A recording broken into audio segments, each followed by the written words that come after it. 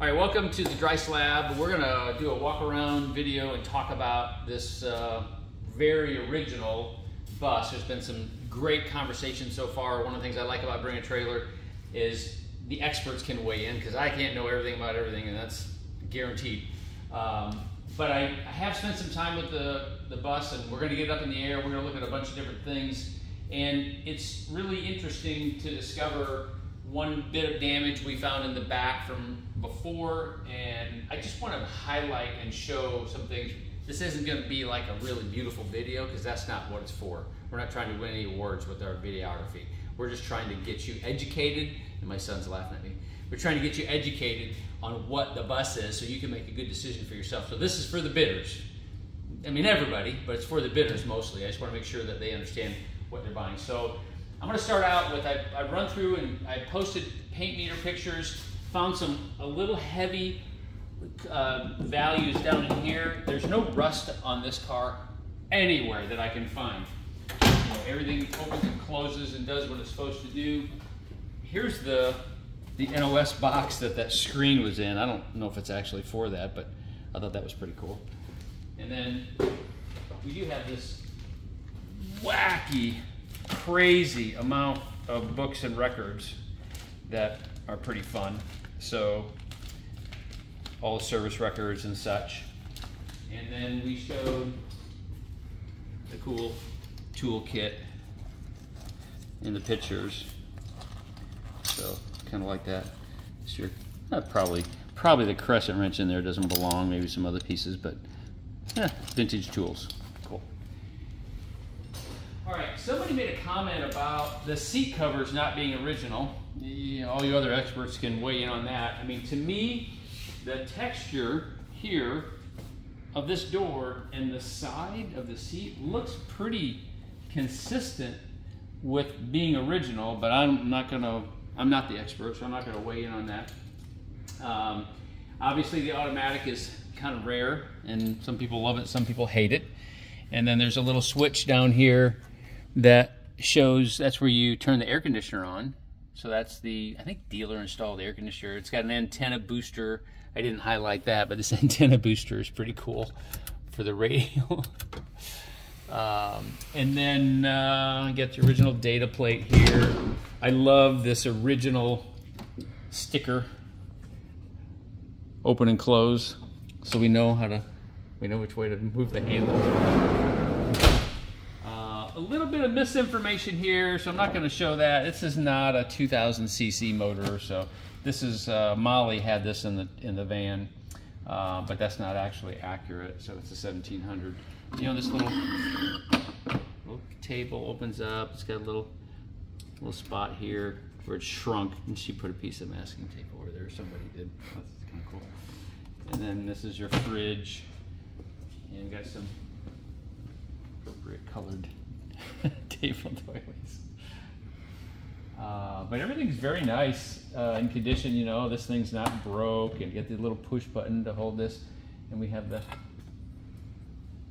what call Probably won't be using these. and then the sink uh, here and this folds back and it's got the vent and you know this I'm gonna go ahead and open this climb up in there. All right so basically this goes up and out. And then if you can see in here this is a little tricky. This is the cot for the youngster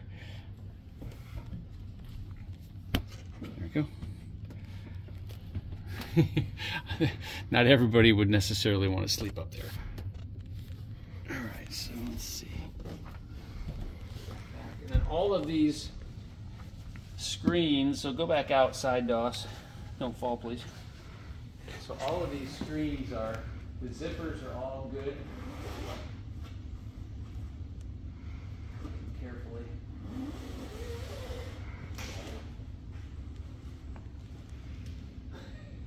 they work.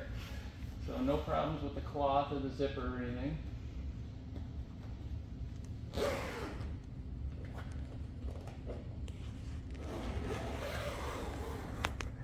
put this back down. So when I, I might be doing this wrong, but I'm you know learning. So I'm gonna go ahead and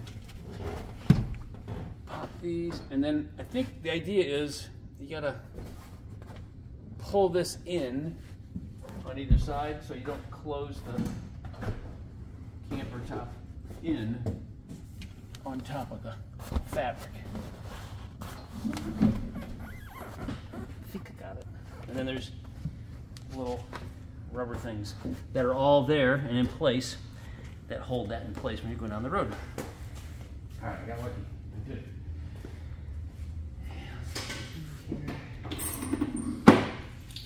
And get the closet and the window works beautifully here. So no issues with that on either side.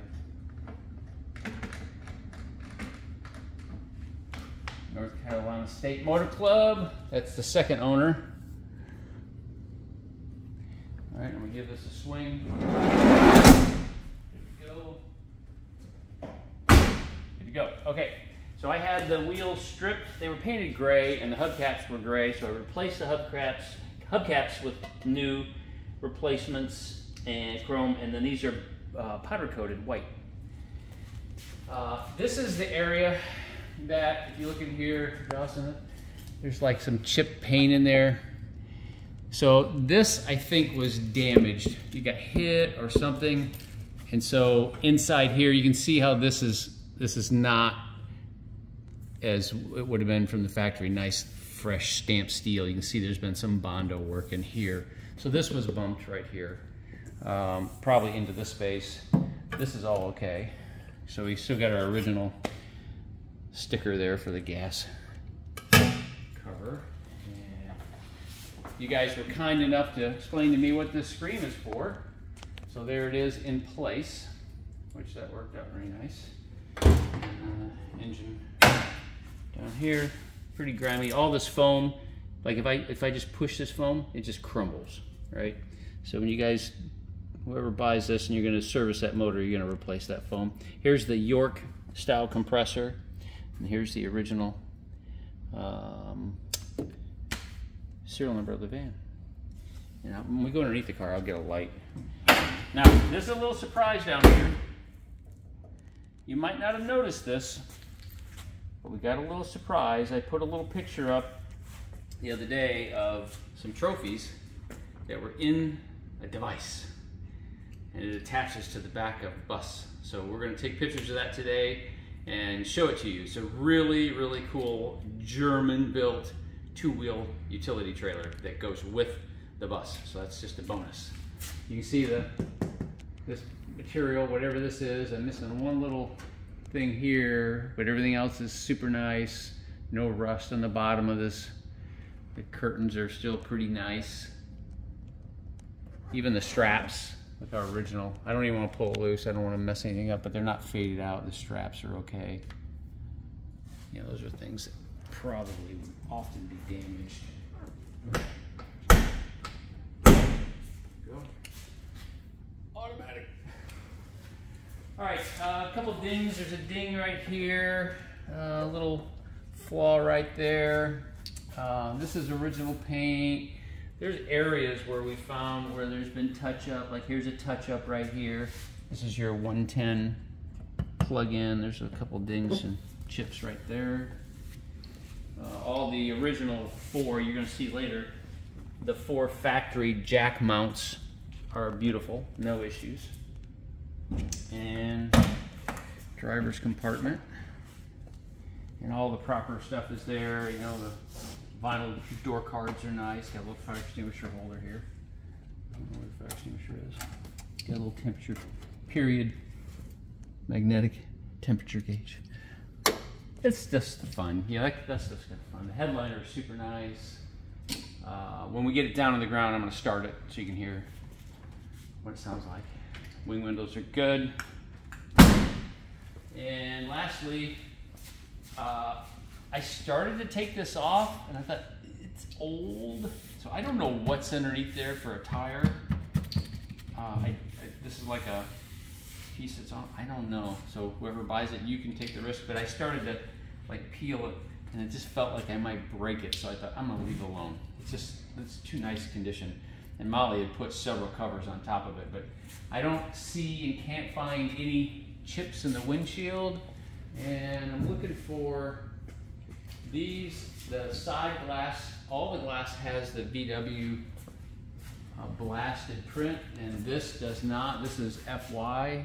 So I presume that little FY, I presume this is probably a replacement windshield. So, okay, uh, we're going up. We're gonna raise it up in the air. I'll get a light, and we're gonna go underneath. So keep rolling, Dawson.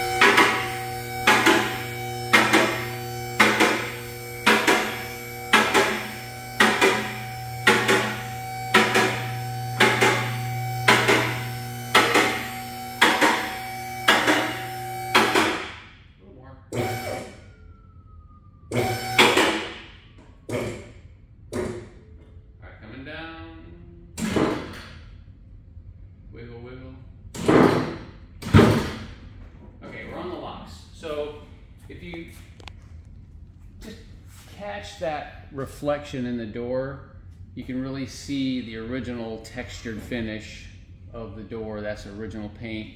I do know that this has been repainted in this area. You see a little little cracking in the paint down low, but there's no rust. But you can definitely see this has been touched up in here and it blends into the front. So, but here's the stuff I love. Like I love these original spot welds. You know, there's nowhere in the vehicle that's damaged. So let me grab a light. Hang on a second.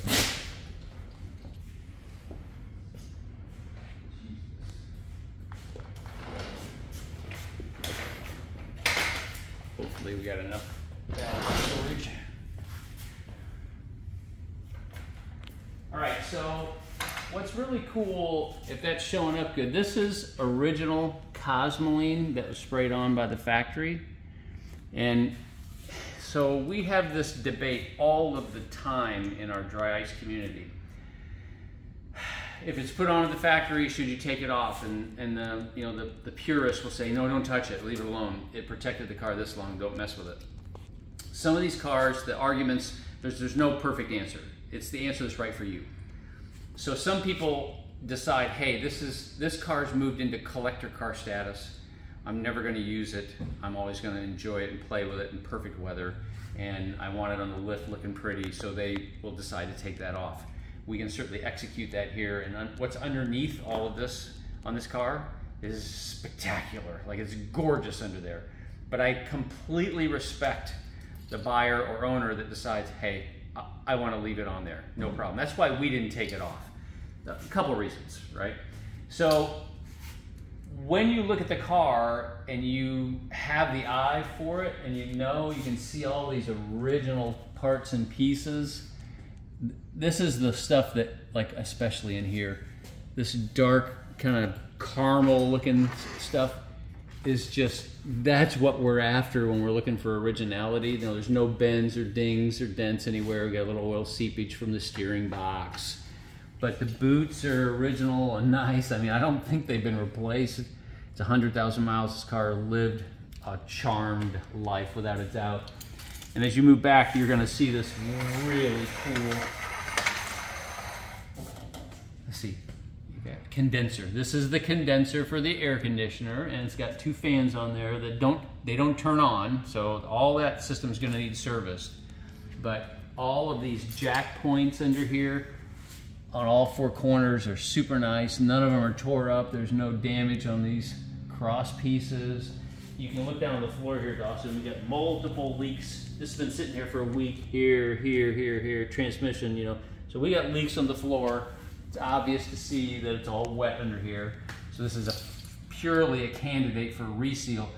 But when you look at these original covers, you know, these are these are just so rare that they're in place. You just don't see that very often.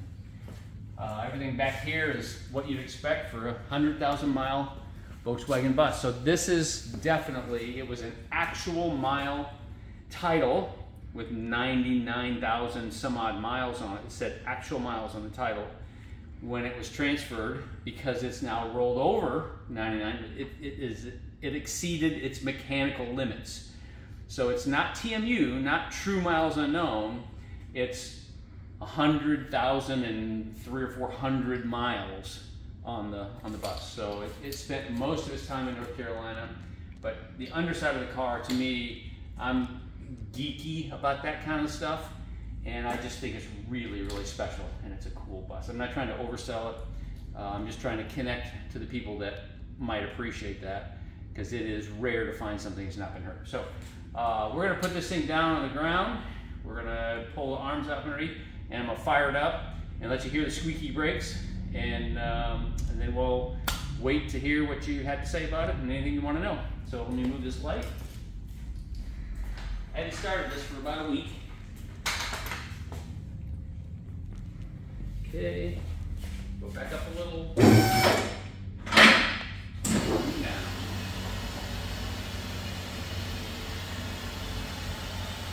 I get a lot of comments about how fast my lift is and how tall it is. It definitely was a good choice. I'm glad I did.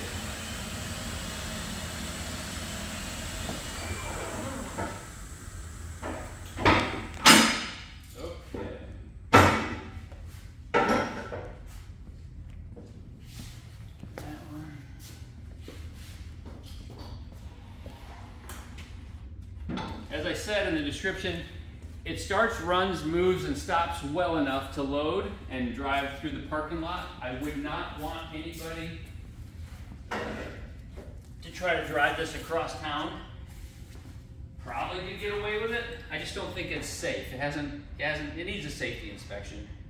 So let's see what happens. Come on up here closer, Dawson. Well, actually, this this is a, an official cold start video. So go back there. Let's let's see what the exhaust pipe looks like when I fire it up. All right. Never get the key in the right way.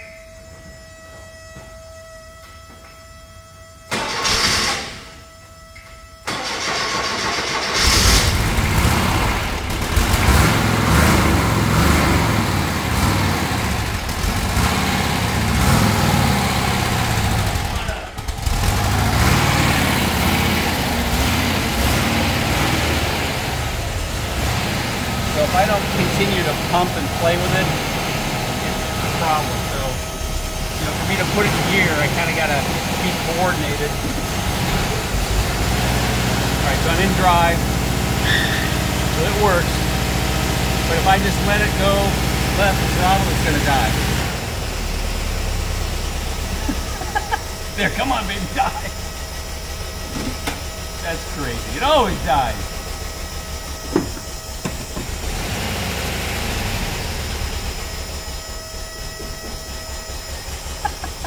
All right, now I'm gonna try reverse.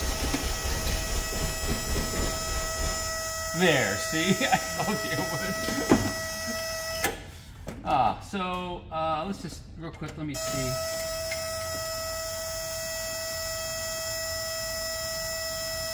Uh, a radio. Let me turn the booster on. no, maybe it's because we're in the building. I don't know comes on and lights up. Uh, go to the front and see if the, the lights work though.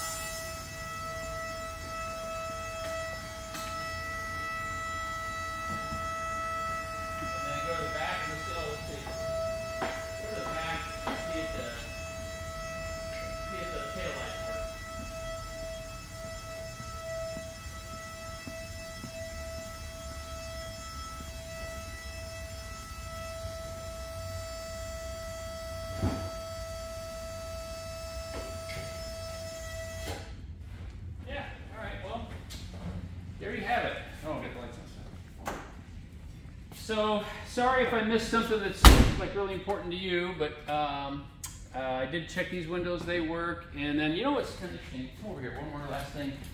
Look, look in here, dog. So, so this, this is how this thing, the other side should look like this. And you can kind of study it and see how the line's a little crisper here on this side. So hear that? Come over here.